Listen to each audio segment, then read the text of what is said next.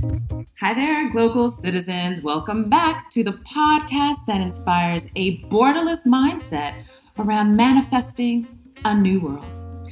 I'm your host, Florence Adu, and I am still in Accra. And today is African Unity Day, which is very, I don't want to say nostalgic. It makes me think of all well it is kind of nostalgic. I think of all of the the former leaders and the former freedom fighters that really put all of their efforts into forging a new and stronger and better africa. And i just hope for the best because we're still not there. We're, we're working we're trying we're still not there. And i was listening to um, a lecture recently and someone said the lecturer said that the problem with Africa is that we expect someone else to come and develop our countries for us. And to some extent, that is by design and by reality. But until we shake that mentality, we'll still be a fairly ununified Africa. So let's think about that, folks. On a brighter note, I have a wonderful woman sitting next to me here in Accra, Ghana. She is the founder of SESA. It's a personal development organization. It is a space, a resource to assist others find some answers, guidance, and advice to make this life game more enjoyable for their benefit and the benefit of those around them. Miss Elvina Quaison. Welcome Thank to the podcast. Thank you, thank welcome, you. welcome, welcome. I'm so happy to be here with I'm, you. I'm really happy to be here. Yay! Good, happy. good, good, good. So let's get started. Tell us where you're from, where you are local, and what is your craft. Okay. So I am British Ghanaian. Mhm. I was born in the UK, London, and um, I'm of Ghanaian heritage. My parents are both from Central Region Ghana. So I am a Fante, me a Fantini Papa. Okay. Which means I'm a full Fante. uh-huh. And what was the last bit? Where are you local? Where am I Right. local? Mhm. Oh my goodness. Where am I local? I am a human yo yo. So I am local in Accra, I am local in London, Okay. and then my work makes me local in a couple of other African countries like Sierra Leone, a little bit of Nigeria. Nice. So Nice. local is very fluid. okay. Okay. So before we go to your craft, tell us a little bit more about your local in London Okay. and your local here in Ghana. Okay. Mhm. So my local in London is Northwest London, Okay. um, Kentish Town mainly, Mhm. and it's diverse adjacent. So I'm near. I'm very close to areas where you've got a real nice mix hodgepodge of different cultures. Camden Town, which is a popular tourist destination, is yeah. doorstep, and so you can get foods and clothes and everything from everywhere. Okay. Finsbury Park, Tottenham aren't far, Okay. so that's my little home, bit of Africa in, Yes. Yes. in um, London. So I really like my location. I can get around with ease, jumping on and off public transport, and getting around town is is just part of life. Easy, Okay. easy living life Sure. over there. Then we come to Accra. Uh huh. Accra, um, I'm local to East Legon. Okay. I fell in love with it.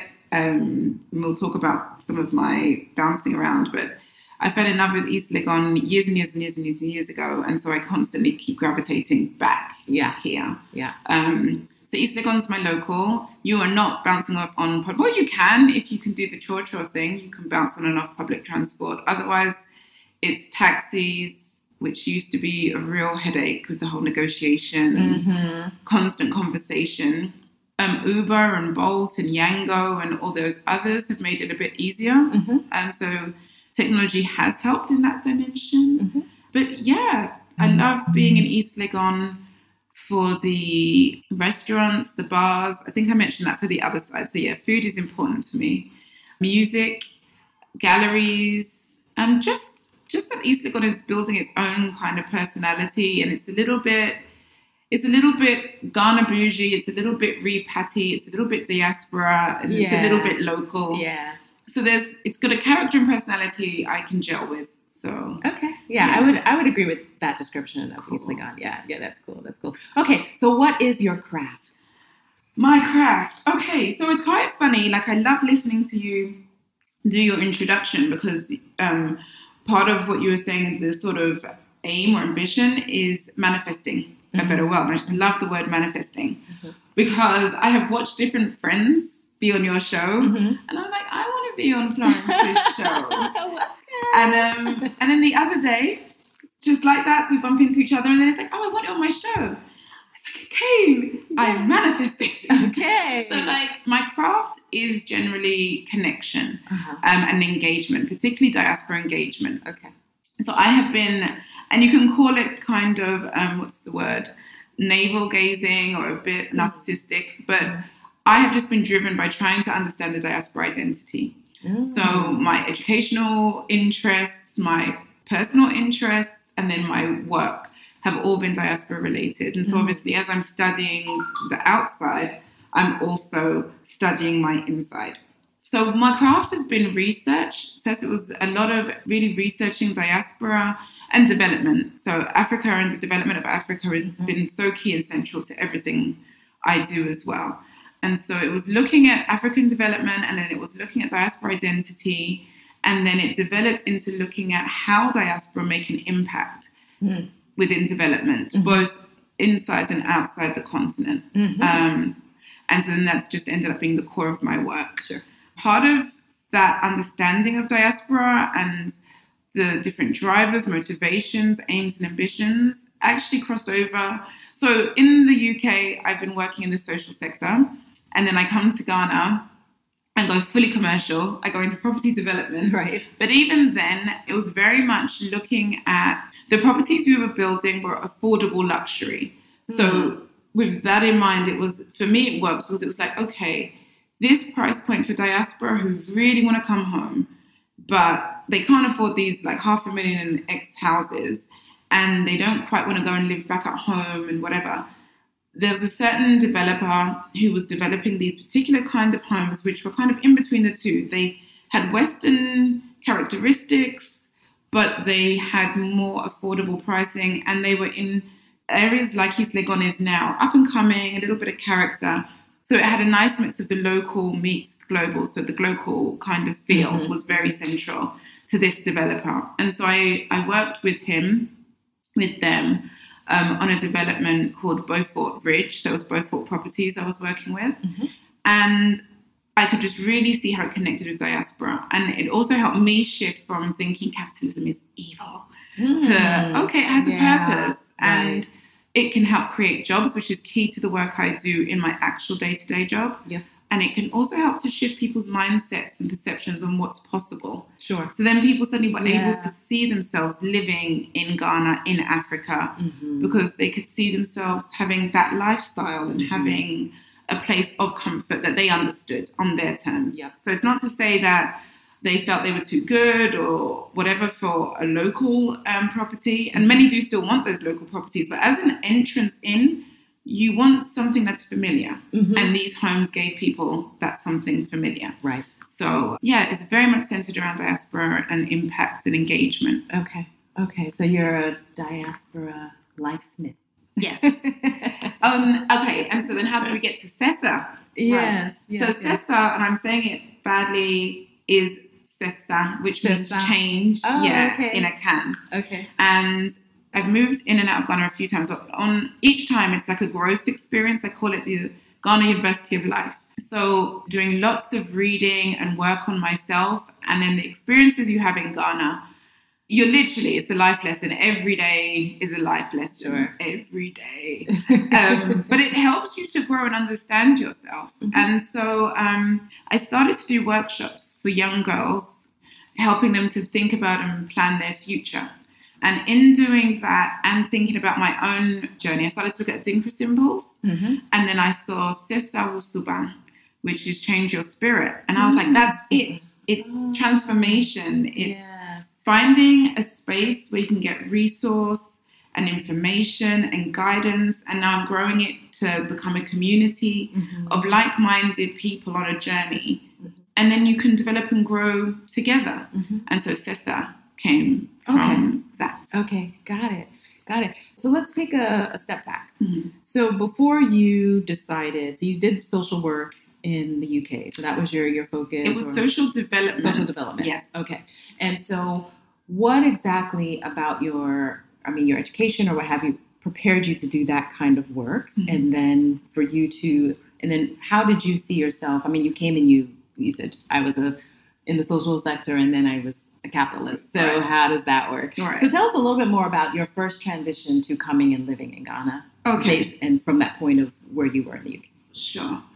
Okay, so um, I didn't come to Ghana until I was 12. That was the first time I came to Ghana. okay. And I just remember stepping off the plane and this just this feeling just went all over me.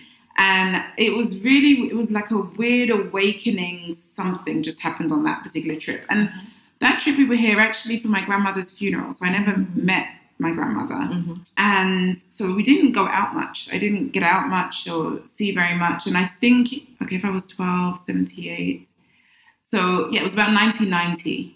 And I think Ghana was just recovering, I think, after. From Rawlings. yeah. Yes. And, and all of, all Yes. of, all of that. Yeah. So was a very different Ghana to what you see Yes. today. Very different Ghana. Mhm. And so everybody was worried about the Abrochi girl and making sure that she didn't go out. And so I spent a lot of time in the house actually. But Mhm. that initial connection when I got off the plane just shifted something, like Mhm. huge shift within me.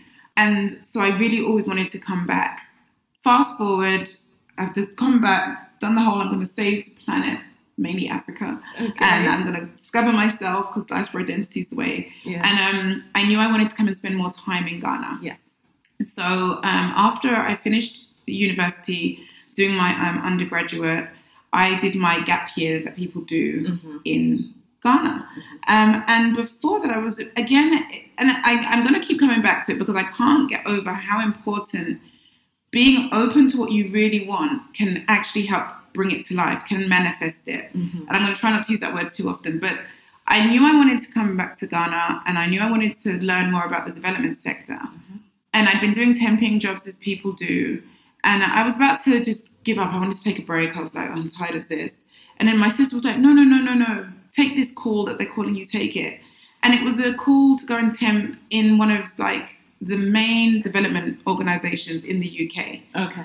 And so that was crazy. So I went and worked with them, and then that became a job job. And then off the back of that, when I came to Ghana and had first introduction to Ghana lesson number one, which was the job that was supposed to have been set up and waiting for me, was not oh. here when I arrived. Wow.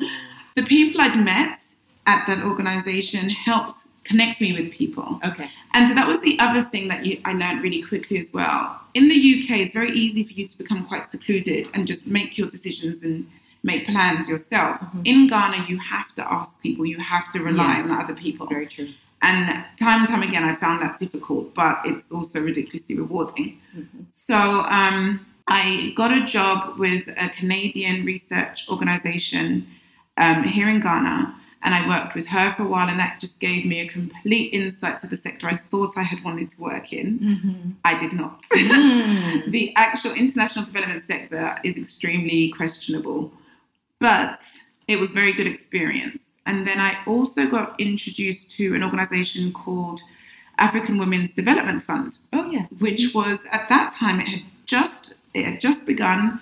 It was the first African women-owned fund, Mhm. and it was just this amazing place of inspirational women. Mhm. Coming from a space where the main African women I saw in the UK were my aunts, um, who were great people, but weren't necessarily the path I wanted to follow, Sure. or the images you saw on Western TV of Africans. And believe me, even now it's not that great, but back then Worse. even worse, even yeah. worse. So seeing these women was confusing, but also really inspiring and, and Mhm. helped to shift again what was possible. Mhm. And so I worked with them. And so I was in Ghana at that time for a, couple of years. And then I moved back to the UK and they connected me with another organization in the UK called Akina Mama Wa Africa. Hmm. This time, even more amazing, inspirational African women, strong minded, like driven, just just huge growth and learning experiences there. And in that kind of carried on the journey Sure. into that sector Got it. and worked with a lot of African owned driven organizations. So I've actually spent more time in African organizations than non Hmm. African organizations. So it's interesting listening to people's experiences of difficulties in the workplace when it comes to things of race and perception and blah blah blah. Right. Because I didn't face those in the same way. Right, right. You would have interactions because your funders were probably non-black, Yeah. and some of the main or bigger, not main, bigger organizations were also. But it wasn't a space you had to spend a lot of time in, so I Mhm. didn't quite have to engage in that same way.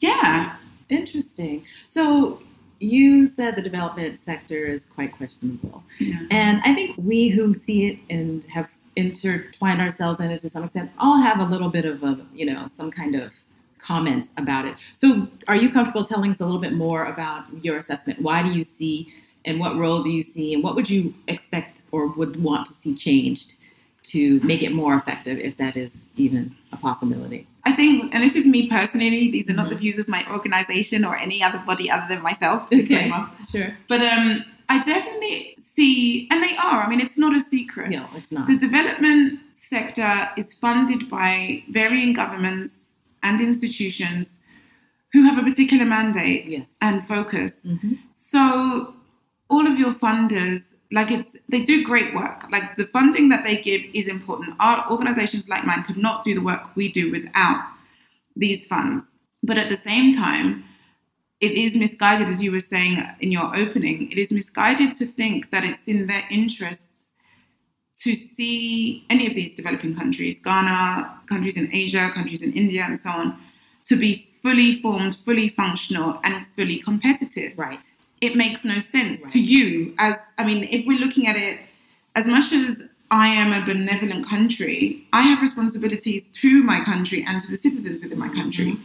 if i put you in a better position than myself how is that productive for me and my self-interest Right.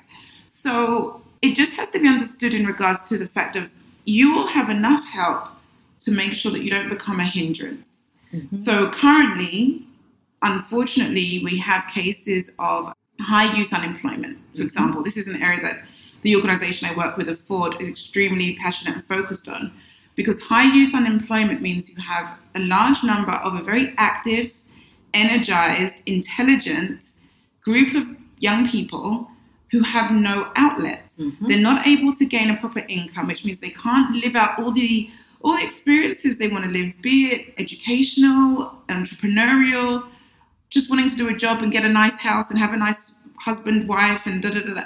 All of these life dreams and ambitions that others take for granted, you can have none of it with ease. Right. So then what are you going to do with all of that energy? You're going to look to see where can I find this outlet? And unfortunately, there are those who look to this surplus of energy and use it for ends that are unhelpful. Terrorism, Mhm. um, crime, fraud, Mhm. or taking their lives into their own hands and trying to cross Mhm. oceans and deserts Mhm. to seek this better life. And then, unfortunately, though the life you're going to isn't great, it, it's generally really hard, uncomfortable, and for some people, really degenerating of your spirit and body, both physical and internal. Mhm. But you make more money than you would at home. Yes. And so you weigh it up and then you take your chances. Then also you have the pressure of those at home who expect you to go and be amazing and help fund those who stayed behind. And I won't even go into the other layer of issues we're creating Mhm. with this and creating Mhm. new classes and distinctions. But Mhm.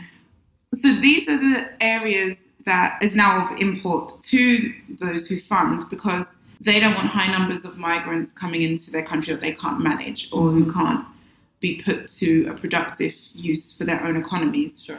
So it really does come down to us. It really does. And it's heartbreaking to see the focus that we see so many of our governments on the continent. They're, they're aware, as, as others are aware, of these impending issues because they keep coming up. Mhm. And rather than finding sustainable long term solutions, we do a quick thing. We have a Department of Youth and Enterprise that does program after program, and yet you don't see any real shifts. And so it does come down to us looking at what do we need to do. And then speaking to my friends who are entrepreneurs here, it also very much comes down to what is the mindset we're teaching our young people. Because the character that many are coming across in terms of those that they're hiring for jobs, Mhm. they're just very despondent, They don't particularly, they're not engaged, they don't really want to work. They want to live the life that they see on Instagram. on Instagram and Mhm. on TV. When I first came to Ghana, the um, messaging was coming from those really terrible Latin Oh, those novella telenovelas. Yeah, And they thought that was everybody's life outside. Yeah. So they didn't believe that there was homeless people in the Western world. They didn't Right. believe people, white people could be poor. Yeah. Now we have everybody. I don't even know what they believe, to be fair, but I, I do see that they're trying to emulate these influencer lifestyles Mhm. and and trying to be so things like Forbes 30 under 30, 20 under 20, 40 under 40 Mhm. are great in recognizing some amazing work, Mhm. but they also put a lot of pressure Yeah. on people. Sure. And so you're you're seeing people wanting to just win like leapfrog. They want they want to jump. They think, oh well, if that person did it, I too can do it. Right. And the way they're going about doing that is doing things like some experiences, not all, obviously, but trying to steal people their bosses' databases, thinking they can go and start up the business and do it themselves. Yes, that is Stealing a well products. known, yeah, well known fraudster activity. Right. Here, yeah. And I don't know if people see that as theft or if they see that as a criminal act or see it even as a sin if you want to get into that. Because Mhm. I'm looking around and everybody is at church 24 7, Mhm. But your day to day behavior does not reflect your religious leanings and learnings. Sure. You're quick to push the Bible down my throat, sure. but then I'll see you happily push past somebody on the street or cut somebody off on the road Yeah. or overcharge for something Yes. and all of these Yeah. kind of things. So it's there's a whole mindset shift that needs to take place. Mhm. And it really has to start with our education, Mm-hmm. the religious institutions, because they're highly influential, Mhm. And at home, obviously. Right. But home will be harder because you need parents parents to have a shift in their mindset to teach you the shift in your mindset. So Exactly. Exactly. that's a harder kind of sell. yeah. So for me, yes, development organizations have a place in the system and structure that we're living in currently. Mm-hmm. But as a country, being Ghana, or as a continent, we also have to have our own strategy of how we take what is wished to be given and make it work for us, as opposed to right now, we take what is given, which fits into somebody else's strategy, and then maybe, hopefully, it might help our situation, or it won't. But you know, we got this money, and Yeah. so let's yeah. So some few, see. some few were able to rise, yeah, and you know that A makes everyone feel a little bit better. like we did something, Yeah. or Yeah. or as it has done, it creates another industry, which is the public sector industry, Sure. and so Yeah. it, it feeds itself, Yes. and um, and so that's an area that people look for as a job. Mhm. And if it's a job with career prospects, it means that you don't see an end in sight, which means you're not working towards the end of poverty. You're not working towards the Mhm. end of the situation, Mhm. because then you've worked yourself out of a job, which is supposed to be the aim of every NGO yeah. a helpful institution. yeah, You're supposed to be trying to work yourself out of Out of it. existence. Yeah. Yeah. So You hit the head, the nail on the head. so I want to ask you, particularly around how you started SESA. You mentioned starting with workshops, and I know that that was part of uh, your transition from the capital sector. So give me a little bit of sense of why the where in terms of how you landed with SESA. okay. Mm-hmm. I guess it says and it's still in formulation. Okay. It's uh, hopefully by not hopefully by the end of this year Yes. it will be more forms Sure. than it is now. But as I said, it came from the different experiences that I had been going through in my own growth and transition. Mhm.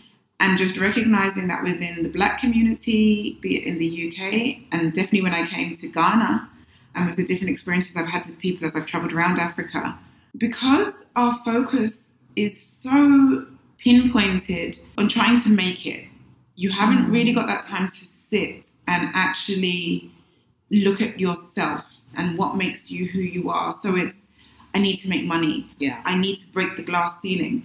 I, I'm being victimized in every area of my work. So then this personality is developing and a mindset's developing Mhm. where you almost stop connecting with and understanding and recognizing who you are at your core and you become this character that is in perpetual victimhood because of I'm black, I'm African, I'm a woman, I'm a man, I'm young, I'm old, I'm, and then you forget that I'm also Elvina or Florence Sure. or whatever. And, and I really like musicals. Yes, I do. And I really like, you know, whatever it is. Yes. And so it was a, a journey of trying to get comfortable and remembering who I am outside of all of these titles. And even trying to get yourself to step out because it's really ingrained. Like you are making decisions and you are doing things that you think are your decisions, that you think are your objective. I'm thinking this out and I'm taking this path, decisions. But when you sit, and generally, if you're able to come into contact with um, really empathetic and good listening people who can ask you really good probing questions, you'll start to see that a lot of your facts are not facts. They were the opinions of others, Mhm. or, and I know we're all saying the media, but yes, the media Mhm. and the media includes our own media, our black media, and the Yes. messages we give ourselves. Yes. And you take all of these things and then you begin to build your reality. Mm-hmm. And so coming to Ghana, from having lived in the UK, being brought up Western, it threw me out of that for a moment because I'm not a minority anymore. I'm in a majority. Mhm. I'm in a black country. Yes. But I'm still a minority because I'm Western. So there's a perception of who and how I am because I'm this Western girl Sure. who's now trying to be an African. And so that's why I now very much call myself a British Ghanaian because I had to come to terms with the fact that Mhm. as You had to own Ghanaian as I thought I was, Yeah. my first stint staying here, sense of humor, um, peculiarities of culture, drinking tea 24 7 if Yes. you want to bring it down to that. Yes. But my outlook on life, my lack of understanding of cultural norms in Ghana, Mhm. had to I had to be like, I'm not helping myself by pretending that I'm this Ghanaian girl through and through. I'm definitely Ghanaian, but I, I definitely have, you know, Yes. this element of Britishness running through me. So then it's having to renegotiate, having to re understand. Mhm. And as I was speaking to people, and I started to run um, workshops um, called Making the Move. Make the move. Okay. Yeah, MTM Ghana, Making the Move Ghana. And then I would break it down, all the different things that you actually have to think about before you come, because otherwise you are going to frustrate yourself Mhm. and you will definitely frustrate others. But in Ghana, they don't take on board other people's frustrations. So you'll definitely end up mainly frustrating yourself. Yes, it's true. Even that was something amazing to learn. In the UK, you annoy me, I'll annoy you back, and then we'll go back and forth until we lose our temper and leave in a rage. In Ghana, you annoy me, I try and annoy you, but you just don't take it on board. So then in the end, I just burn myself out and then we move on. Yeah. And so you, it was a shift in different, and in learning that there's other ways to live, there's other ways to see myself, yourself, there's Mhm. other ways to interact on this planet. Yeah. Um, your norm isn't the norm, it was just a norm that you had in one context. Right. You can change that context, and you don't have to leave the country to change your context. Right. You do need to change your mindset and perception. Yeah. And so, this is very much what I'm trying to find a way to shape and form Mm-hmm. so that I can work with people to help them to shift that. Because again, with this social media lifestyle and this living your best life, you gotta live your best life. And living your best life seeming to mean get slim if you're female, get slim, get really big butt and big boobs, and go out raving or keep traveling to these amazing countries. It's all external. Mm-hmm. But what about the bit inside of you that helps you look at the world in a way that you stop feeling depressed, frustrated, Sure. limited, Sure. constricted in what you want to be doing? That makes it okay in your mind that I'm 42 and I want to wear skinny jeans. I'm going to wear my skinny jeans. These are the things that can help you have a better life Yeah. that will give you the vision of what a best life could look like. Sure. And so it's very much about the interaction between the life we're living and the life we could live, and then how that interconnects with other people. Mm-hmm. And so manifesting is key to that because it sounds like magic, this idea of manifestation. But when you break it right down to the core, I can give you an easy example. Okay, so even here, sitting here talking to you, right? Mm-hmm. So I'm sitting in London at the time. My friend Olivia Asadu in tow, go and check out the podcast. Yes. She did a podcast, and I was like, oh, why can't I do a podcast? Why couldn't that happen for me? No, no, no, no, no, no. Did I reach out to Florence? No. Did I outline what it was I would particularly like to speak about and then put that to Florence? No. Did I find out what the process is to get onto the podcast? No. I sat there thinking, I'm not doing enough to be visible in the great out there for Florence to see me and get in touch with me and invite me to be on her show. So I'm creating a world in this moment where I'm not going to get on Florence's show. I'm going to keep looking at Florence's show, wanting to be on it. As I've been in Ghana on this trip, I've started to take the time to structure out what it is. I'm a person who is global and local, lives Yes. between countries. I'm very interested in diaspora engagement. I'm going to speak to people more because I started to get more and more enclosed because your your outlook on life starts to shrink as you start to get frustrated. You Yes. then get angry, and when you're angry, you don't want to interact with people. Yes, that's true. And so you see, and these are the small ways that we're Mhm. creating this life that we don't want. Yeah. So then I started to open up. Then you're speaking to people more, yeah. which means that I get to know my neighbor downstairs a bit more. Sure. And then I go and say hi to my neighbor, and then there's Florence. And then we start talking. And then as Florence is lit, she's like, oh yeah, Elvina does some diaspora stuff. It would be good if you came on my show. And, then, and then somebody else will be like, oh my God, that's ama- it's amazing. Yeah. Yes, but it's not in the realms of impossibility if you shift how you live, Yes, Right. how yeah, you that how you just choose to So that's a that's a great segue into my question about mindset hack. Yes. So what would you say is your favorite one that you can imagine, one that you practice? What do you find is a, a wonderful mindset hack? okay. Visualization. Ah, yeah. Visualization is a great mindset hack. Mhm. It takes different forms and it can come and it can manifest in different time periods. Yes. So it could be an easy visualization like, I really want chicken and chips, grilled chicken and chips. I really want that. And then I'm thinking about it and I'm thinking about it. And then I'm like, yeah, I actually really want that. And then you'll start doing the small actions that starts to bring it towards you. So you might thinking out loud, and that's not even speaking. I've now, as I'm talking to you, it's come to me.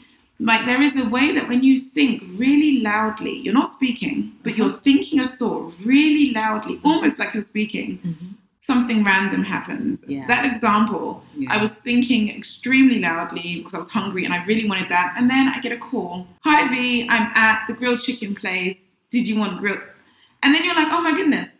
And that one does have an element of magic in it. But Yeah. when you really visualize, it is something about how your mind starts to think, oh, okay, this is serious. How are we going to make this work? Mhm. So I was just saying, I've done a little thing for my Instagram and the three things I learned in Ghana.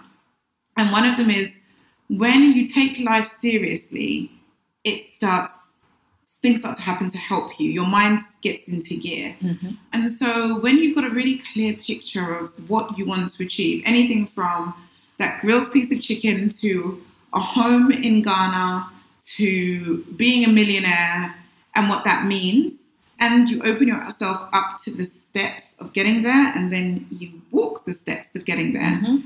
almost anything, I won't even say almost, anything is possible. The caveat to that and the learning to that is that you may not get it in the way you particularly visualized it. Right. So, another example, I really wanted a property of my own in Ghana. Mhm. It's the way that mortgages and stuff work here is quite different, but I was really clear I wanted an apartment in Ghana on the first floor above with a balcony. Very clear on that. Mhm. Um, I wasn't sure how I was going to afford it because I've just taken a semi sabbatical and da, da, da, but I was very clear and that's what I wanted. And put it out there, visualized it, spoke about it to particular people, not everybody, particular people. And then I came and saw the apartment we were having a conversation in where our, our friends also live. Yes. And I loved the place. I was like, this is it, but I don't want it to be on the ground floor, but I love this place. Yes. And then a flat became available as I was meant to leave. So I was meant to leave a month ago. Oh, okay. And then the landlord came to me a couple of weeks before I was going to leave and was like, oh, one of the apartments upstairs on the first floor is going to be available. Do you want to take it? And it meant renting. And I hadn't contemplated renting. Ah. In my mind, I wanted a property in Ghana, Sure. but I hadn't thought that it was going to be a rental property because in my mind it was I was going to buy it and then it would also be a, an investment property. Yeah. As it's turned out, I've rented it for a year. Okay. When I'm not here, it's an investment property. Right. So And, and so I just sat there and I was like, oh my goodness, that's what I was asking for. Yeah. And it came to me in a way that was affordable. yeah. And I won't even tell you the magic of being able to afford to furnish it and everything else. Yeah. But it all sort of gravitates to when you've got the right outlook. Yes. But if your outlook is, I don't want to rent a place, I want to buy a place, no, Right. then you've just shut off this whole area of opportunity it's true. because your mind is closed. Yes. Whereas when you can open it up, ask some questions, think a little differently, it really can change so much for you. Mhm. I second that on the visualization. I just remember all every apartment that I lived in, I walked in and I was like, okay, I see myself here. And so immediately my mind started to decorate. And so literally every apartment that I had, even to the one in New York that I, I currently, Mhm. you know, finally own, right? Because the moment I went into that apartment, it was a rental. And I said, I'm gonna own this place. There we go. And it happened, right? And so I furnished it, and so and it, it's so interesting because I recognize when I don't see the picture, then I can't. It doesn't happen for me. It doesn't happen. Because so, when you see the picture, you can almost live it. exactly. Because then you'll be like, okay, no, no, I wouldn't have those curtains. Actually, I'd have blinds. uh-huh. And then, and then the picture becomes more and more, and then you're walking around. That, those are the curtains I'd have. yes, That's the such and such I'd Yes. have. And then it's almost like some things like, okay, so we're gonna have this. This is gonna be ours. And then voila. Conversations and- happen, and I- income suddenly comes. It's weird. I think that when you said, "Oh, it just sounds like magic," I think that we need to embrace magic. Yes. Like magic is real. Yeah. Like it really is real. And so I will say, I think we're on the, the cusp of a full moon. For you listeners out there, Yeah. particularly around the full moon, Mhm. try this. Because you will see that, you know, for whatever reason, maybe it's women's things, Yeah. but the lunar energy really does provide an opening window. Yeah. If you're not celestial thinking, you know, just try it. Yeah. You know, get back to me. But that that's something that's actually And that's been something I've experienced with this trip because I wasn't Mhm. into moons Mhm. and all. But it's suddenly like this particular trip. It's really come to me, and like yeah, as Florence says, try it try it. and and try not to be freaked out when, Yeah. when things happen. that's the only thing. Like so, I've done. I've I've read things like The Secret and Laws of Attraction. Uh-huh. And I have to say, on one particular magic year, it worked so well. I got so freaked out. I, I shut it down. I shut it oh down. no! I know it was too much. Yeah, It was too yeah, yeah. Two Harry Potter waving Sure, wands. yeah, yeah. It was too much. You can't be afraid though. That's That's, the thing. You have to have the So courage to keep on. now, years it. later, so all the years somewhat not wasted. Everything's a learning, but it could have been very different if I'd been able to be comfortable with that whole Sure. law of attraction. We are magnetic beings, and We you know are. that you've experienced it now and again. You think of a person, they ring you. You're walking down Yes. the street and you're thinking, "Oh, I'd really love a fill the blank," and then suddenly everywhere you look, everybody's driving that color car, or eating that ice cream, or Mm-hmm. whatever it is. So it's just learning how to tighten that in and, and Mhm. manif- make it work for you. Not even manifest it, but learning the skills of how to tap into manifestation, visualization. Yeah. And also, visualization can help you to change relationships Mm. as well, Mm-hmm. especially if you can go really, not exactly deep, but really granular Mm. with your visualization. So I've been using that for difficult conversations Mm. or for Mhm. non difficult conversations, with ones that you really want to have and you feel too nervous or shy to have Yes. where you actually have that conversation and imagine how it would feel and how it would flow and all of these things. So one thing I do now when I go networking, before you know you'd be hungry, like I need to speak to this person and this person and this person. And obviously everybody else does. So you look around the room and they've got a crowd of people around Yeah. them. So what I started to do was I want to speak to that person. If not today, that person will come to me because I need to speak to them and they need what I need to give them. Mm-hmm. And either I'll be having a drink at that event and then that person will walk up and be like, oh, hey, how are you? Or I will get an email later on from that person. And so there is something about having the right energy that you put onto your visualization Yeah. and allowing yourself to connect with it so that when a situation happens, it's almost like you remember how to behave. Yeah. So you don't feel as scared or as nervous Mhm. or um, you don't get your barriers up if that's something that you do and push people away. Mhm. You're able to, because you remember that, oh, we did this and it was fine and I was comfortable and I had the right things to say and then it flowed. Yeah. So visualization is definitely something I encourage people to read about. There's so much, so, Yeah. so, so much Yeah. online. Yeah. and just play with that. Yeah. And it's fun, actually. Right, you know, people have made it into a, kind of a market of the vision boards and all that stuff. Like it's real. Yeah, you know, yeah, you really put it together, you see it, and then it becomes. That's it. Yeah. And it does, yeah, like give it a go. Yes. And just, like with anything, actually, what's it called? You can go at it with extreme cynicism, Mhm. but just give it a go anyway. Mm-hmm. Just do it anyway. hmm So, Great mind mindset hack. Okay, so let's talk a little bit about what you hear when you're on the road, on the, in on the road, Mm. in the spaces, talking to young women. What would you say is your your favorite global speak? my favorite global speak. Um, oh gosh, I don't know. Let me think. Give me like an example. Okay, so the classic example here in Ghana is Chale. Okay, so on the, on the cusp of the chale, Mhm. my favorite for years and the one that is so telling for people wanting to come and live experience whatever Ghana, you must exercise patience. Uh-huh. It, it, it makes you want to hurt somebody when you come out here and live that experience, but it gives you a true understanding of what patience really means. yeah. And hopefully you'll get to a point where you learn to embody it. Because once you're able to do that, living in Ghana and, and spaces like Ghana um, become a lot easier. Yeah. And you become a lot calmer as a person. Yeah. Because really understanding this idea of patience is understanding that your way is not the way Yes. Be that your personal way or the context from which you've come. So the favorite from diaspora in mm-hmm. in the UK or tourists is it doesn't make sense, but it's not common sense. And so my response to that is sense isn't common and it's contextual bound. So what makes sense in the UK, in London even, not even just in the UK, because if you go to other cities, towns, It's true. it changes again. The common sense that you will experience is that born from the experiences in the Yes. context you're now in. Yes. So there's many things in Ghana that make no sense to Mhm. us if you've been born outside for a long time. Mhm. When you've been here a while, then you begin to see, oh, okay, that's why they do what they do. Mhm. That's why nobody rushes or particularly makes solid plans because Mhm. somebody can tell you it will be ready for you on Wednesday. So then you make plans to use that thing on Thursday. Mhm. You go to pick it up Thursday morning because that's what you were told, Mhm. and it's not there. Right.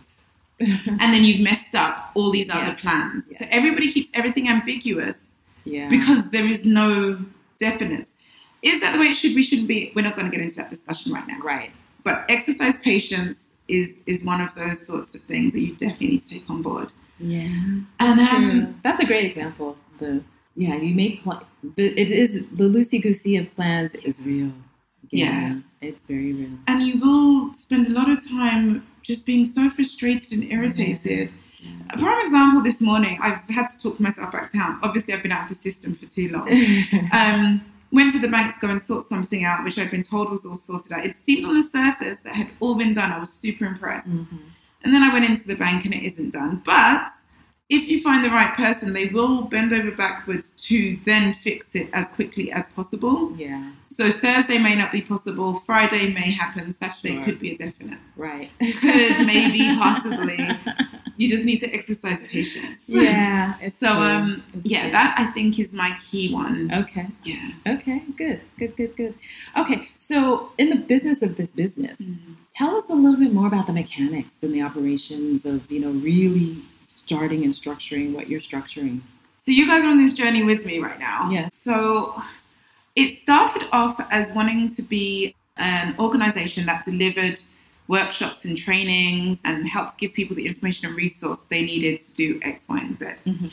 But um, as I've grown and as time has moved forward, I realize now that that isn't quite what I want it to fully be. That isn't the fullness of it. So as I was saying, it's definitely a community. Mhm. Um, it's focused on women of color, black women Mhm. over the age of 35 Mm, okay. who are going through numbers of different changes and challenges and positives Mhm. at a point in life where you would have had a number of experiences that influence your outlook.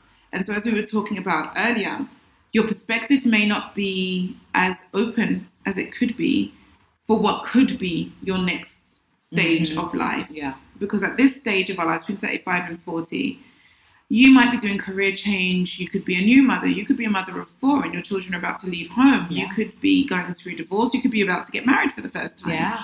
Yeah. There's so many different things happening, body Mhm. changing, Mhm. possibilities that if you've got an ingrained mindset that I've hit 40, which is society seems to really push this on women, 40 and you're out. Yeah. Whereas as I'm seeing, it's 40 and it's new wave for lots of people. Yeah. It's a new job, it's a new career, it's a new opportunity, it's a new business. Mhm.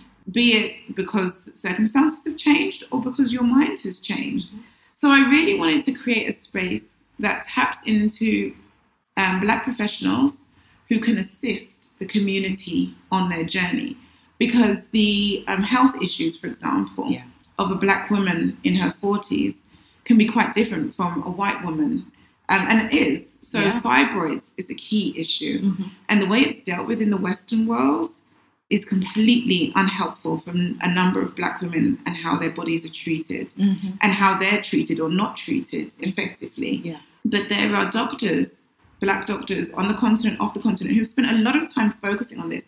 There are health professionals. There are people who've been through having fibroids and have found different holistic ways of dealing with it through diet Sure. and exercise and meditation and mindset Mhm. and understanding that when we have these growths and these pains and these um, discomforts within our bodies, it's generally our way of our body's way of holding on to hurts and Yes. upsets and frustrations. So all the medication and surgery in the world may help, but it, it won't go to the core of the matter. Right.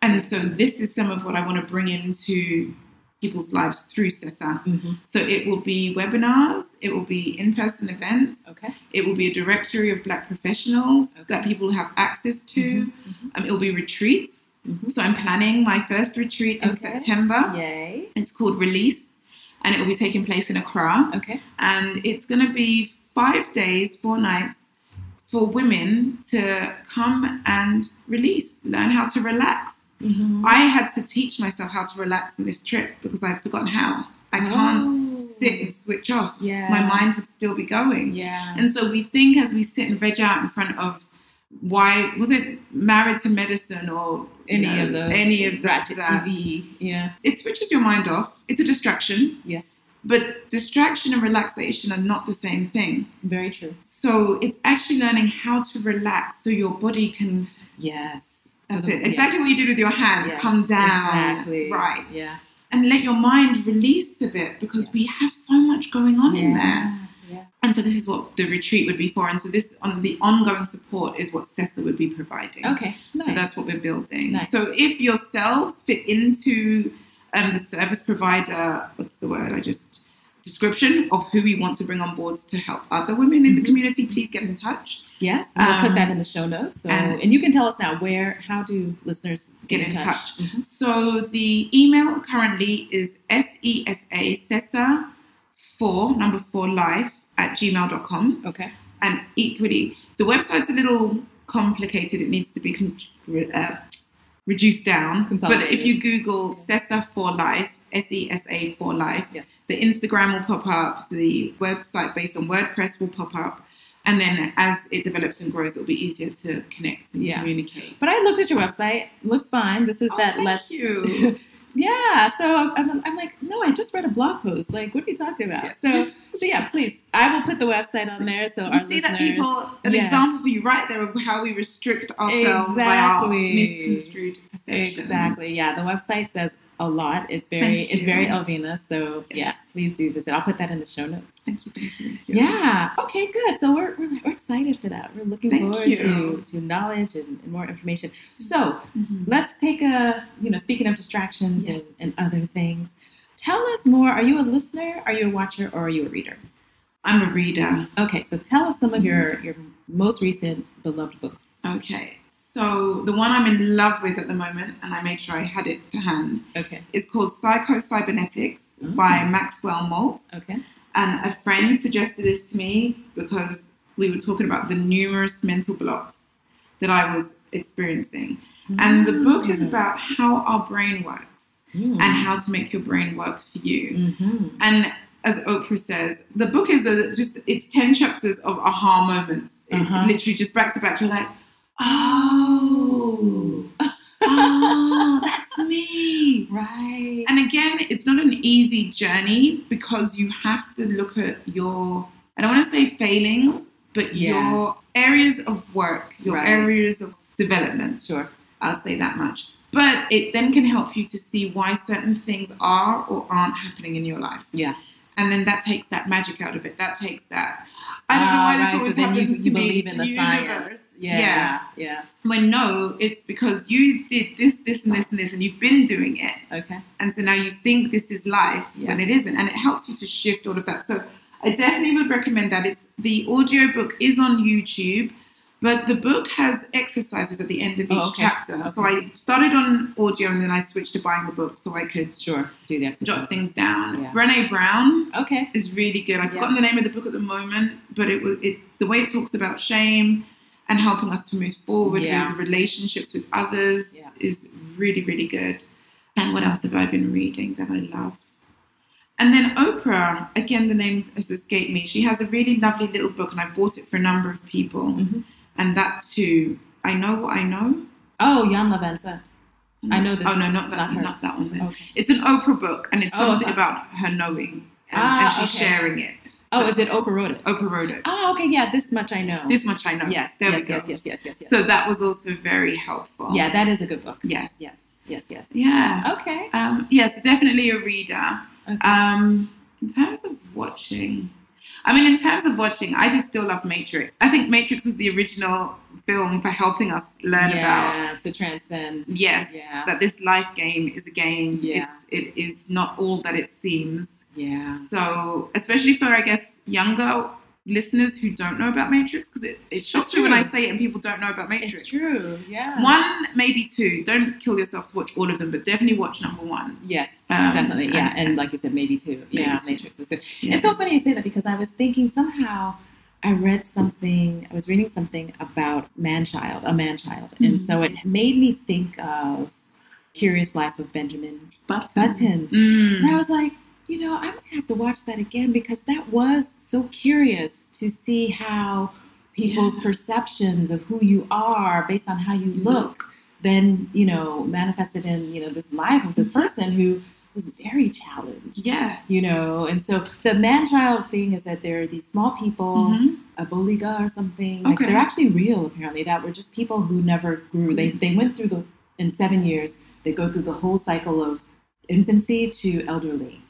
Wow. Yeah. In seven years. Yeah, yeah, yeah. So they don't live long. So they're tiny, but they go through the whole thing. And I'd seen some, I'd seen pictures, but I just was reading it actually this morning. I was like, oh, wow, okay. And that's what made me think of Benjamin Yeah. Button. So Because I mean, like, I've been, again, the mindsets of people, if you're coming from somewhere else and you move into another space, I just find it fascinating because somebody else's perception of life is going to be completely absolutely, different. Their outlook completely different. The books they read, the yeah, things they watch, the interactions yeah, they have. Yeah, yeah. And there's so much to learn. there is. I interviewed my friend's aunt. She's 90 something. wow.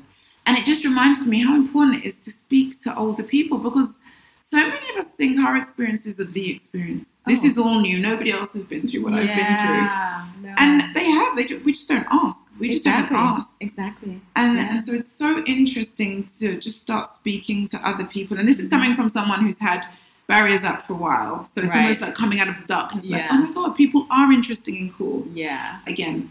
So, yeah. yeah, just de- definitely speaking to the elders. Like, I think Mm. they get so forgotten and Definitely. knowing that African stories are passed on through, I mean, everybody's stories, but Mhm. particularly in Africa, we, in curating our own histories, we Mhm. really need to talk to our elders, those who lived Yeah. through independence, who Yeah. lived through that time, because I think we're also not remembering, and that's the reason why we're kind of stuck, is that we here coming like me, you and I lived abroad, so Mhm. our colonial experience is very different. Like I'm living in America, and I'm with you. Yes. I call myself I'm Ghanaian American. American. I mean, I'm the American cousin Right. because I just don't have the context Yes. at all. But so, but coming from those places, slavery in the post-colonial U.S. is entirely different Mhm. from the colonialism that is what is Africa now. Yes. And if we don't speak to the people who lived it to understand why we are still in the same place we are, because they are still to some extent the ruling class. Yeah. So until we decide Yes. how to dismantle that mindset that they have, we're we're still going to be disjointed. Yeah, Yeah, exactly. So, Definitely. yeah. I mean, a prime example for me, I've been coming back and forth, like in the proper yo-yo, since I was 22, I think. So yeah, literally 20 years. And um, the people who I knew when I first came to Ghana, the young people Mm-hmm. full of life and passion, and we're going to change this, are the ones who are now leaders. And so Mm. something in there shifts, and all of that energy and that verve and that idealism, Mm. it shifts and changes and becomes the norm. And so it would be Mm. interesting to know what happens in that interim. And I know life happens, you know, suddenly the responsibilities, the family are upon you, Mhm. The need to live in a certain way, and the Mhm. cost of living in Africa is not cheap. So if you want Yeah. good education for your child, if you want good healthcare, Yeah. but then also the structures, trying to shape, shift the structures within which the political system is Yeah. made, both internally and externally, Yeah. is work. Yeah.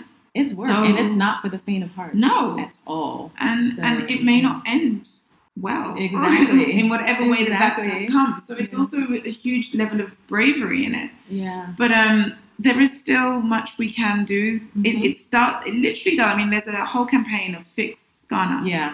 but it's very outward looking it's government fix ghana hmm without really understanding that the government are a reflection Of us. of us 100%, so you yeah. can shout government fix Ghana and then you still do any number still of random bala in the middle of the street. And yeah, yeah, yeah. All of these sorts of things. So it's a partnership. Yes. Your government is really reflecting you. So whatever the government is doing is what you're allowing. Yeah. And that means also to whatever extent on your micro level, you're doing the same thing. Yeah.